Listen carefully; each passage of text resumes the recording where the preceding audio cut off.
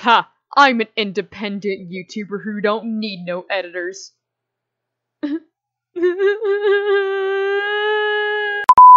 Wake me up.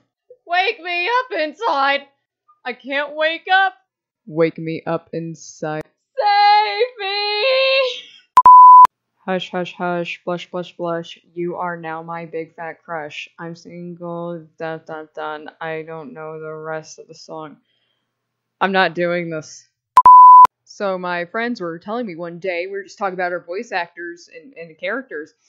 And um we are talking about people we could voice. So I was speaking and then um I got some phlegm in my throat.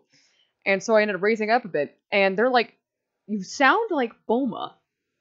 Your normal voice sounds like Bulma. Now I can pull it out whenever I want to, and all I can be like is, Hey guys, I'm Bulma Bunny. I'm not Bulma Bunny because I'm not a thought.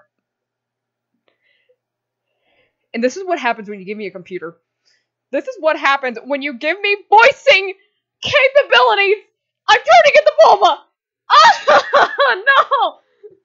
I actually have to strain to use my normal voice. This voice sounds much more natural than anything else, and it concerns me. Please send help. SOS 911, please.